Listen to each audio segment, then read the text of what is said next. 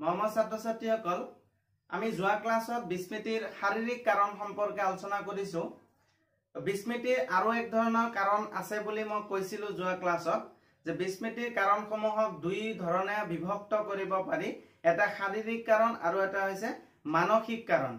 তো যিহেতু ইতিমধ্যে শাৰীৰিক কাৰণ সম্পৰ্কে আলোচনা কৰা হৈছে আশা কৰো প্ৰত্যেকে ভিডিঅ'টো চাই লৈছা। যদি এতিয়ালৈ চোৱা নাই ডেছক্ৰিপশ্যনত লিংক আছে তাৰ পৰা চাই ল'বা। আজি আমি আলোচনা কৰিম বিস্মৃতিৰ মানসিক কাৰণ সম্পৰ্কে।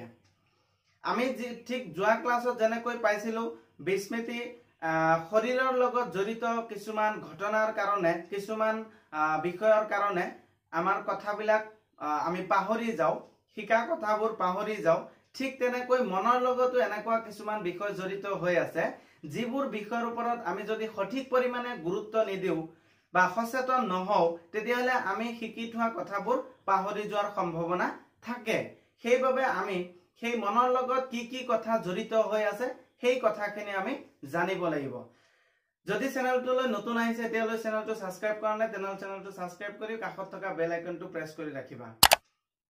এতিয়া বিস্মৃতিৰ মানসিক কাৰণসমূহ আমি এটা এটাকৈ আলোচনা কৰিম। ইয়াতে মই লিখিছো দেখা পাইছা বিস্মৃতিৰ মানসিক কাৰণ মনৰ লগত কিছু কথা জড়িত আছে।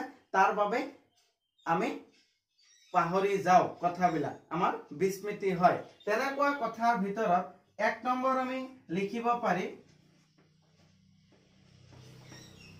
যে আগ্ৰহবিহীন শিক্ষণ।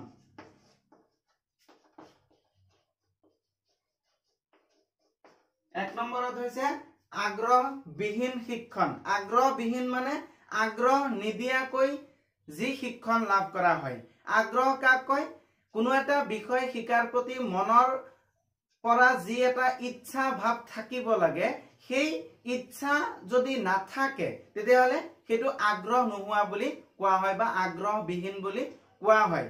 মই যিটো ক্লাছ কৰাই আছো এই মুহূৰ্তত সেই ক্লাছটো যদি তোমালোকৰ ল'বলৈ ইচ্ছা নাথাকে ক্লাছটো যদি উপভোগ কৰিবলৈ তোমাৰ মনৰ পৰা এটা হেঁপাহ নাথাকে তেতিয়াহ'লে সেইটোক আগ্ৰহ নথকা বুলি কোৱা হ'ব। যিকোনো কামৰ ক্ষেত্ৰত যিকোনো কথাৰ ক্ষেত্ৰতে আমি শিক্ষণ লাভ কৰিবলৈ হ'লে তাৰ বিষয়ে জানিবলৈ হ'লে প্ৰথম চৰ্তটোৱেই হৈছে যে আমাৰ আগ্ৰহ থাকিব লাগিব। সেই বিষয়টো মোক লাগে বুলি এনেকুৱা এটা অনুভৱ থাকিব লাগিব যে হয় এই সম্পৰ্কে কিছু কথা মোৰ জনাৰ প্ৰয়োজন আছে মই জানিম মোক লাগিব। এই ধৰণৰ ভাৱ যদি নাথাকে তেতিয়াহ'লে আৰু তেনেকৈ যদি কিবা বাধ্যত পৰি কাৰোবাৰ কোনোবাই তোমাক কি কৰিছে? জোৰ জুলুম ভাৱে তোমাক এইটো শিকিবলৈ বাধ্য কৰাইছে। তেনেকৈ যদি তুমি শিকিছা তেনেহ'লে বেছি দিন মনত ৰাখিব নোৱাৰিবা। ক্লাছত ছাৰে ক্লাছ কৰাই আছে তুমি হয়তো ক্লাছৰুমটোতে বহি আছা কিন্তু ছাৰে যিখিনি কথা শিকাই আছে সেইখিনি তোমাৰ শিকাৰ প্ৰতি ইচ্ছা নাই তোমাৰ মনে বিচৰা নাই। তথাপিও তুমি শুনি আছা। কিন্তু সেই শুনাৰ দ্বাৰা তুমি সঠিক শিক্ষণ লাভ কৰিব নোৱাৰিবা। আৰু কিছু কথা তেতিয়া বুজি পালেও পৰৱৰ্তী সময়ত তুমি সেই কথাখিনি সহজতে পাহৰি যাবা। কাৰণ তোমাৰ শিকাৰ সময়ত ইচ্ছা নাছিল। সেইটোৱে হৈছে আগ্ৰহবিহীন। অৰ্থাৎ আগ্ৰহ নোহোৱাকৈ যদি কোনো বিষয়বস্তু সম্পৰ্কে জ্ঞান লাভ কৰা হয় তেনেহ'লে সেইটো খুব কম সময়ৰ ভিতৰতে পিছত পাহৰি যোৱা যায়। বুজি পালা? দুই নম্বৰত আমি লিখিম যে মনোযোগ। মনোযোগৰ অভাৱ। চাবা ইয়াৰ আগতেও মই কিছু কথা কৈছিলো মনোযোগ সম্পৰ্কে যদিও ইমান বিস্তৃতভাৱে কোৱা নাছিলো। ইয়াৰ পিছত আমাৰ আকৌ মনোযোগৰ ওপৰত এটা স্পেচিয়েল ক্লাছ আছে তেতিয়া মই আলোচনা কৰিম। মনোযোগ বুলি ক'লে আমি কি বুজি পাম? আমাৰ যে মন আছে সেই মনটো চাৰিওফালে ঘূৰি থাকে। এই মুহূৰ্ততো হয়তো তোমালোকে ক্লাছটো কৰি আছা। শুনি আছা মোৰ কথাখিনি কিন্তু তোমাৰ মনটো বেলেগ ঠাইত থাকিব পাৰে তোমাৰ মনে বেলেগ কথা চিন্তা কৰি থাকিব পাৰে তেনেকুৱা হলে নহব। মনক এটা নিৰ্দিষ্ট বস্তুৰ লগত কানেক্ট কৰিব লাগিব মনক এটা নিৰ্দিষ্ট বিষয়ৰ লগত সংযোগ কৰিব লাগিব। আৰু এক মুহূৰ্তত এক মুহূৰ্তত মনটোক এটা নিৰ্দিষ্ট বস্তুৰ লগত তুমি সংযোগ কৰি যদি সেই বস্তুটো শিকি ল'ব পাৰা তেতিয়াহে সেইটো দীৰ্ঘস্থায়ী হ'ব। তুমি যদি মনটোক এটা মানে অস্থিৰতাৰ মাজত ৰাখা ইটো চিন্তা কৰি আছা সিটো চিন্তা কৰি আছা এই বেলেগ কথা ভাবি আছা তেনেকৈ যদি শিক্ষণ লাভ কৰা এই শিক্ষণ বেছি দিনলৈ মনত নাথাকে। যেতিয়া কোনো এটা কথা শিকাৰ সময়ত আমাৰ মনোযোগৰ অভাৱ হয় মানে আমি পূৰ্ণ মনোযোগ দিব নোৱাৰো সঠিকভাৱে মনত তাত নিক্ষেপ কৰিব নোৱাৰো তেতিয়াহ'লেও আমাৰ বিস্মৃতি হয় বা আমি কথাবিলাক পাহৰি যাওঁ। গতিকে গম পালা? যে বিস্মৃতি বা পাহৰি যোৱাৰ কিছুমান মানসিক কাৰণ আছে মনৰ লগত জড়িত কাৰণ আছে। প্ৰথম হৈছে আগ্ৰহ আগ্ৰহ থাকিব লাগিব আগ্ৰহ নাথাকিলে সেইটো আমাৰ বেছি দিন মনত নাথাকে। পিছৰটো হৈছে মনোযোগ আমাৰ মনোযোগৰো প্ৰয়োজন আছে। তিনি নম্বৰ কাৰণ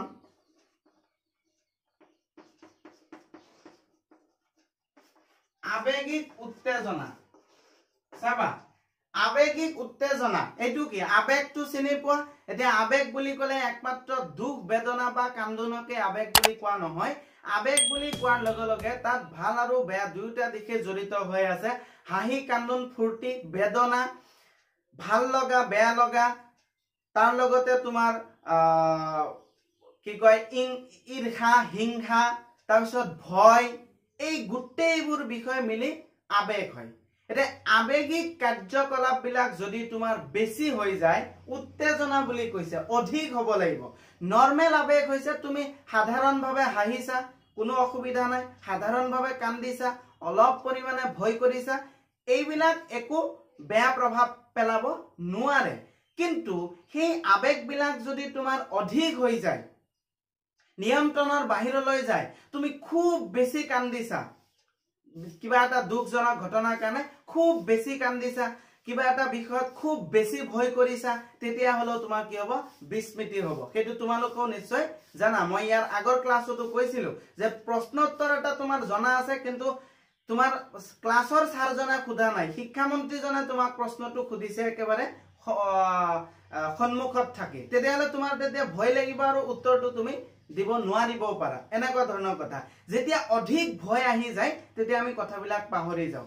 যেতিয়া অধিক বেদনাত থাকো দুখ কষ্টত থাকো অধিক পৰিমাণে কান্দি থাকো তেতিয়া আমি বহুত কথা পাহৰি যাওঁ। সেইকাৰণে কোৱা হয় যে যেতিয়া মানুহৰ আবেগৰ পৰিমাণটো খুব বেছি হৈ যায় তেতিয়া বিস্মৃতি ঘটে। চাৰি নম্বৰ ক'ব পাৰি শিক্ষণৰ সমাপ্তিকৰণ। এইটো এটা গুৰুত্বপূৰ্ণ বিষয়। একদম প্ৰেক্টিকেল কথা এটা। শিক্ষণৰ সমাপ্তিকৰণ। অৰ্থাৎ যেতিয়া কোনো এটা বিষয় আমি শিকি থাকো তেতিয়া আমি এটা লক্ষ্য স্থিৰ কৰি লওঁ যে সেইটো আমি কিয় শিকি আছো। ধৰি লোৱা তোমালোকে এই ক্লাছটো গ্ৰহণ কৰি আছা বা এই ছেকেণ্ড ইয়াৰ বৰ্ষটো তোমালোকে পঢ়ি আছা বা আৰু পঢ়িবা। এইটো তোমালোকৰ লক্ষ্য কি? যে এইচ এছ ফাইনেল ইয়াৰ যিটো এক্সামিনেশ্যন থাকে সেই এক্সামত বহা আৰু এটা ভাল পাৰ্চেণ্ট লৈ পাছ কৰা। এইটোৱে হৈছে মোৰ লক্ষ্য। ইয়াৰ দ্বাৰা কি বুজা যাব যে তুমি সেই লক্ষ্যত উপনীত হোৱাৰ কাৰণে শিক্ষণ লাভ কৰি আছা। এইমাত্ৰ ক্লাছটো তুমি গ্ৰহণ কৰি আছা আৰু অন্যান্য ছাবজেক্ট বিলাকো বহুত কষ্ট কৰি তুমি পঢ়ি আছা। যেতিয়া তোমাৰ পৰীক্ষা দিয়া শেষ হ'ব এটা এটা এটা এটা কৈ তোমাৰ ছয়খন ছাবজেক্টে যেতিয়া তোমাৰ পৰীক্ষা দিয়া শেষ হ'ব তাৰ পিছৰ পৰা তুমি কথাবিলাক লাহে লাহে পাহৰি যাবলৈ আৰম্ভ কৰিবা। কাৰণ তাৰ মানে তোমাৰ যিটো লক্ষ্য আছিল সেই লক্ষ্যত তুমি উপনীত হৈছা। এতিয়া তোমাৰ শিক্ষণটো সমাপ্তি হৈছে। ফিনিশ্ড হৈ গৈছে। এতিয়া সেইখিনি আৰু তোমাৰ বিশেষ প্ৰয়োজন নাই বুলি তোমাৰ মনে তোমাক ইংগিত দি আছে যে এইবিলাক লৈ আৰু চিন্তা কৰাৰ প্ৰয়োজন নাই। যিমান দিনলৈ মনত ৰাখিব লাগে সিমান দিনলৈ মনত ৰখা হৈছে। এতিয়া আৰু আমাৰ বিশেষ প্ৰয়োজন নহ'ব। তেতিয়াও কিন্তু আমি লাহে লাহে সেই কথাবিলাক পাহৰি যাওঁ। আৰু তাৰ এটা বাস্তৱ উদাহৰণ হৈছে বহুতেই মেট্ৰিক পৰীক্ষাত ফাৰ্ষ্ট ডিভিজন পাইছা কোনোবা ছাবজেক্টত লেটাৰ পাইছা এইটটি নাইনটি পাৰ্চেণ্টো তোমালোকে পাইছা। কিন্তু এতিয়া ক্লাছ টেনৰ গণিতৰে হওক বিজ্ঞানৰে হওক সমাজ বিজ্ঞানৰে হওক যদি এটা সৰু কুৱেশ্যনো মই তোমালোকক কৰো মানে খুব সোনকালে সেই কথাটো তোমালোকে মনত পেলাব নোৱাৰিবা।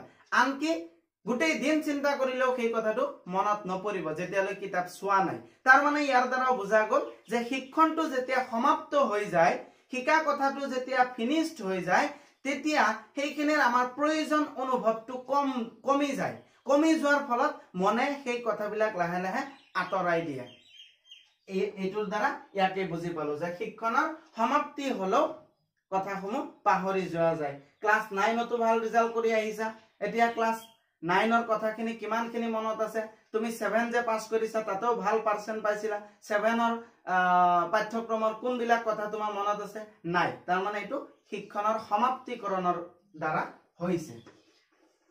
এতিয়া আমি পাঁচ নম্বৰ পইণ্টটো লিখিম। পাঁচ নম্বৰটো এটা ইম্পৰ্টেণ্ট পইণ্ট কাৰণ ইয়াৰ ওপৰত পৃথকভাৱে প্ৰশ্ন আহে। তোমালোক লক্ষ্য কৰিবা। সেইটো হৈছে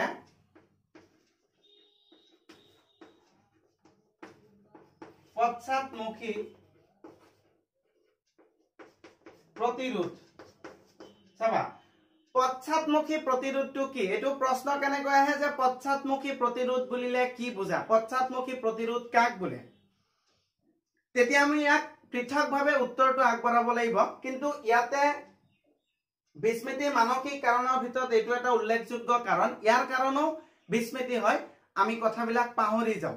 এইটো কেনেকুৱা বিষয় মই এটা উদাহৰণ লৈছো। ধৰি লোৱা তুমি দিনটোত প্ৰথমতে ন বজাত তুমি প্ৰথম ক্লাছটো কৰা। সেইটো ইংৰাজী ক্লাছটো তুমি কৰা।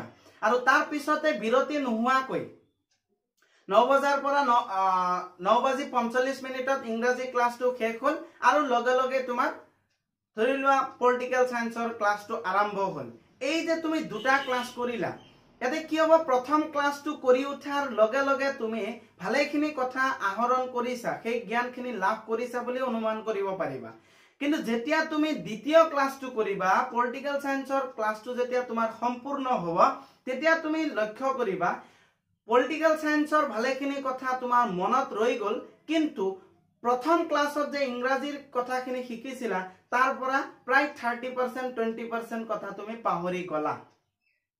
এই যে দ্বিতীয় শিক্ষণে প্ৰথম শিক্ষণক যে পাহৰাই যোৱাৰ ক্ষেত্ৰত এটা প্ৰভাৱ পেলাই ইয়াকেই পশ্চাদমুখী প্ৰতিৰোধ বুলি কোৱা হয়। আমি ইয়াৰ উত্তৰটো কেনেকৈ দিব লাগিব? কোনো এটা বিষয়বস্তু সম্পৰ্কে জ্ঞান লাভ কৰাৰ পিছত কোনো বিৰতি নোলোৱাকৈ অন্য এটা বিষয় সম্পৰ্কে জ্ঞান লাভ কৰা হয়। আৰু তেতিয়া দ্বিতীয় শিক্ষণে প্ৰথম শিক্ষণৰ পৰা ভালেখিনি কথা পাহৰি পাহৰি যোৱাৰ ক্ষেত্ৰত অৰিহণা যোগায়। এই ঘটনাটো দ্বিতীয় শিক্ষণে প্ৰথম শিক্ষণক পাহৰাই যোৱাৰ ক্ষেত্ৰত যে অৰিহণা আগবঢ়াইছে এই ঘটনাটোকেই পশ্চাদমুখী প্ৰতিৰোধ বুলি কোৱা হয়। এইটো উদাহৰণটো মনত ৰাখিলেই হ'ব। ইংৰাজী ক্লাছটো প্ৰথম কৰিছা ছেকেণ্ড পলিটিকেল চায়েন্সৰ ক্লাছ কৰিছা। পলিটিকেল চায়েন্স ক্লাছ কৰা শেষ হোৱাৰ পিছত এই পলিটিকেলৰ কথাখিনিয়ে তোমাক কি কৰিছে? ইংৰাজীৰ কথাখিনি পাহৰি যোৱাৰ ক্ষেত্ৰত ইয়াত প্ৰভাৱ পেলাইছে। গতিকে এই দ্বিতীয় শিক্ষণে প্ৰথম শিক্ষণক যে পাহৰাই দিয়ে ইয়াক এই পশ্চাদমুখী প্ৰতিৰোধ বুলি কোৱা হয়। আশা কৰো বুজাব পাৰিছো অসুবিধা পালে কমেণ্ট কৰি জনাবা। তাৰপিছত ছয় নম্বৰত ক'ব পাৰি যে মুখস্থ। মই আৰু নিলিখো। মুখস্থ পদ্ধতিৰ দ্বাৰা শিক্ষণ। এই পইণ্টটো এনেকৈ লিখিব লাগিব। মুখস্থ পদ্ধতিৰ দ্বাৰা শিক্ষণ। এনেও তোমালোকে জানা যে কোনো এটা বিষয়বস্তু যদি আমি শিকাৰ সময়ত তাক যুক্তিপূৰ্ণভাৱে যদি শিকো যে কেনেকৈ আহিছে ক'ৰ পৰা আহিছে কি হৈছে ঘটনাটো একদম ভিতৰৰ পৰা যদি আমি হৃদয়ংগম কৰি কথাখিনি শিকি লওঁ তেতিয়াহ'লে সেই কথাখিনি দীৰ্ঘদিনলৈ সহজেই মনত থাকে। কিন্তু একো বুজি নোপোৱাকৈ মুখস্থ কৰিছো। ধৰি লওক বহুত ছাত্ৰ ছাত্ৰীয়ে কি কৰে ইংৰাজী কুৱেশ্যন এনচাৰসমূহ পঢ়াৰ সময়ত তেনেকৈ পঢ়ে। ইংৰাজীসমূহ বুজি পোৱাত অসুবিধা পায়। সেইবাবে কি কৰে মুখস্থ কৰে। সম্পূৰ্ণ মুখস্থ। এতিয়া যেতিয়া কমপ্লিট মুখস্থ কৰিবা তেতিয়া কথাখিনি তোমাৰ কি হ'ব? মনৰ মাজত লাইন বাই লাইন এটা এটাকৈ চাপ বহাই ৰাখিব লাগিব। আৰু এইটো কোনটো শব্দৰ পিছত কোনটো শব্দ আছে তেনেকৈয়ে তুমি মুখস্থ ৰাখি মনত পেলাব পাৰিব লাগিব। যিটো নেকি ইমান সহজ কাম নহয়। সেইটো দুদিন চাৰিদিন এসপ্তাহ পোন্ধৰ দিনলৈ মনত ৰাখিব পাৰিবা কিন্তু একমাহ পিছত তুমি তেনেকৈ মনত পেলাব নোৱাৰিবা। তো সেইটো এটা কাৰণ যে যেতিয়া নেকি কোনো এটা বিষয় শিকাৰ সময়ত একো বুজি নোপোৱাকৈ কথাখিনি আভ্যন্তৰীণভাৱে বুজ নোলোৱাকৈ হৃদয়ংগম নকৰাকৈ একমাত্ৰ মুখস্থ পদ্ধতিৰ সহায়ত বিষয়খিনি শিকি লোৱা হয় তেতিয়া সেই কথাখিনি বহুত দিনলৈ মনত নাথাকে। কিছুদিন পিছতেই বিস্মৃতি ঘটা দেখা যায়। গতিকে আশা কৰো যে প্ৰত্যেকেই পইণ্টসমূহ বুজি পাইছা? মই আগতেও কৈছো এই পইণ্টবিলাক তোমালোক বহীত লিখি ল'বা লিখি লৈ মই যেনেকৈ বুজাইছো সেইটো এবাৰ বুজি নাপালে দুবাৰ তিনিবাৰলৈকে ভিডিঅ'টো তুমি বেক হৈ হৈ চাই ল'বা। চাই লৈ মই কোৱা কথাখিনিৰ ওপৰত এটা ধাৰণা লৈ তুমি তোমাৰ নিজৰ ভাষাত সেইফালে কথাখিনি লিখিবা। যে আগ্ৰহবিহীন শিক্ষণ ইয়াৰ দ্বাৰা কেনেকৈ বিস্মৃতি ঘটে? মই আকৌ দুই মিনিটত কথাখিনি কৈ শেষ কৰিম। আমি আজি আলোচনা কৰিলো আমাৰ যে বিস্মৃতি হয় আমি শিকা কথাবোৰ যে পাহৰি যাওঁ তাৰ কিছুমান কাৰণ আছে। সেই কাৰণসমূহত শাৰীৰিকভাৱেও ভাগ কৰিব পাৰি মানসিকভাৱেও ভাগ কৰিব পাৰি। আজি মানসিক কাৰণসমূহৰ বিষয়ে আলোচনা কৰিছো ইতিমধ্যে। তাৰে প্ৰথমতে লিখিছো যে আগ্ৰহবিহীন শিক্ষণ। কোনো এটা বিষয়বস্তু সম্পৰ্কে জ্ঞান লাভৰ সময়ত আমাৰ মনৰ পৰা যদি সেইটো শিকিবলৈ ইচ্ছা বা আগ্ৰহ নাথাকে তেতিয়াহ'লে আমাৰ কি হয়? বিস্মৃতি হয়। দুই নম্বৰ হৈছে মনোযোগৰ অভাৱ। বিষয় এটা শিকাৰ সময়ত আমাৰ মনটোক স্থিৰ কৰিব লাগিব। চাৰিওফালৰ পৰিৱেশৰ যদিও বিভিন্ন বস্তু আছে মনটোক তাৰ পৰা আঁতৰাই আনি এটা নিৰ্দিষ্ট বস্তুৰ ওপৰত আমাৰ মনটো সংযোগ কৰিব লাগিব আৰু তেতিয়াহে আমাৰ কথাসমূহ বুজি পোৱাত সহজ হ'ব আৰু বেছি দিনলৈ মনত ৰাখিব পাৰিম। যদিহে আমি মনটোক তেনেকৈ এটা নিৰ্দিষ্ট বিষয়ৰ লগত সংযোগ কৰিব নোৱাৰো মনোযোগৰ যদি আমাৰ অভাৱ দেখা যায় তেতিয়াহ'লেও বিস্মৃতি হয়। তিনি নম্বৰ হৈছে আৱেগিক উত্তেজনা। মানুহ বহুত সময়ত আৱেগিকভাৱে বহুত উত্তেজিত হোৱা দেখা যায়। কেতিয়াবা বহুত হাঁহিব পাৰে বহুত কান্দিব পাৰে বহুত ভয় পাব পাৰে। গতিকে এই ধৰণৰ যদি ঘটনা হৈ যায় নিয়ন্ত্ৰণৰ অধিক যদি হৈ যায় হিচাপতকৈ বেছি হৈ গৈছে তেতিয়াহ'লেও কি হয় মানুহৰ বিস্মৃতি হয়। চাৰি নম্বৰ কোৱা হৈছে শিক্ষণৰ সমাপ্তিকৰণ। যেতিয়া আমি কোনো এটা লক্ষ্য লৈ শিক্ষণসমূহ আহৰণ কৰোঁ আৰু সেই লক্ষ্যত উপনীত হোৱাৰ পিছত আমাৰ শিক্ষণটো সমাপ্ত হৈ যায়। সমাপ্ত হোৱাৰ লগে লগে লাহে লাহে আমি কথাবোৰ পাহৰি যাবলৈ আৰম্ভ কৰোঁ। এইটো এটা এক ধৰণৰ স্বাভাৱিক প্ৰক্ৰিয়াৰ নিচিনা হৈছে। কাৰণ আমাৰ মাইণ্ড ছেটটো তেনেকুৱা হৈ গৈছে যে আমি পৰীক্ষালৈহে আমি মনত ৰাখিব লাগে। আমাৰ মনে তেনেকৈ ধৰি লৈছে। যদি আমি মনক এই ধৰণে গঢ় দিওঁ নহয় এইটো মই লাইফ টাইম মনত ৰাখিব লাগিব তেতিয়াহ'লে লাহে লাহে হয়তো পিছতো মনত থাকিব। কিন্তু আমাৰ বেছিভাগ ছাত্ৰ ছাত্ৰীৰে সেইটোৱেই লক্ষ্য যে পৰীক্ষাত ভাল নাম্বাৰ পাব লাগে তাৰপিছত যি হয় হওক কথা নাই। সেইটোৰ দ্বাৰা কি হয়? বিস্মৃতি প্ৰভাৱিত হয়। অৰ্থাৎ বিস্মৃতি ঘটে। পাঁচ নম্বৰ পশ্চাদমুখী প্ৰতিৰোধ। এইটো এনেকুৱা ধাৰণা যে কোনো বিৰতি নোলোৱাকৈ দুটা বিষয় যদি আমি শিকি লওঁ তেতিয়াহ'লে পিছৰ শিক্ষণে আগৰ শিক্ষণটোক প্ৰভাৱিত কৰে আগৰ শিকা কথাখিনি পাহৰি পাহৰাই যোৱাৰ ক্ষেত্ৰত সহায় কৰে। ইয়াকেই পশ্চাদমুখী প্ৰতিৰোধ বুলি কোৱা হয়। তাৰপিছত লাষ্ট লিখিছো মই যে মুখস্থ পদ্ধতিৰ দ্বাৰা শিক্ষণ কোনো এটা বিষয় শিকাৰ সময়ত যদি আমি বুজি নোপোৱাকৈ একমাত্ৰ মুখস্থৰ দ্বাৰা যদি তাক আমি শিকিবলৈ যত্ন কৰোঁ কিছু সময়ৰ কাৰণে মনত ৰাখিব পাৰিম কিন্তু পৰৱৰ্তী সময়ত সেই কথাখিনি আমি পাহৰি যাম। এইকেইটা হৈছে বিস্মৃতিৰ মানসিক কাৰণ আশা কৰোঁ প্ৰত্যেকে বুজি পাইছা। যদি ক্লাছটো ভাল লাগে তেনেহ'লে এটা লাইক কৰি দিবা। নিজৰ বন্ধু বান্ধৱীৰ লগত ভিডিঅ'বিলাক তোমালোক শ্বেয়াৰ কৰিবা আৰু সু পৰামৰ্শ আগবঢ়াব বুলি আশা ৰাখিছোঁ। সকলোকে ধন্যবাদ জ্ঞাপন কৰিছোঁ।